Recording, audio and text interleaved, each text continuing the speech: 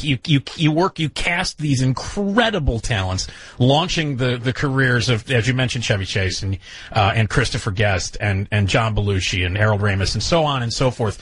People that would go on to be giants in the comedy, in the comedy world. What was it like at the beginning like that to be, to be there?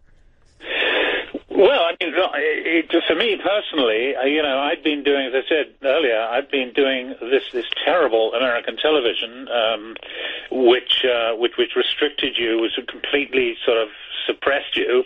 Uh, and I was suddenly amongst these people uh, uh who, who who had none of that censorship, uh, none of that self censorship, or, uh, or or had any regard for any other kind of censorship. And it was literally like I mean, I'd been work, you know, I'd been operating on one cylinder for, for four or five years, and now I was operating on all six.